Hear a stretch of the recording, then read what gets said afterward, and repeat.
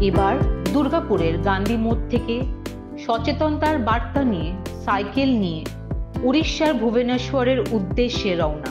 উড়িষ্যা যাওয়ার পথে বাঁকুড়া, মেদিনীপুরের বিভিন্ন প্রান্তে তারা এ বিষয়ে প্রচার করে এবং অসুস্থ পথসারমীয়দের সেবা প্রদান করে পাঁচশো সাতাশ কিলোমিটার সাইকেল চালিয়ে উড়িষ্যার ভুবনেশ্বরে পাড়ি দেবেন।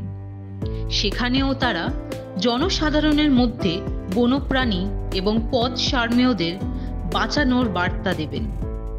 এই উদ্যোগকে কুর্নিশ জানাচ্ছেন শিল্পাঞ্চলবাসী। আমাদের সম্প্রচারিত খবর যদি আপনাদের ভালো লেগে থাকে, তাহলে অবশ্যই আমাদের চ্যানেলটি সাবস্ক্রাইব করুন। Bureau report U Bangla TV. U Bangla TV, হৃদয় ছুঁয়ে যায়।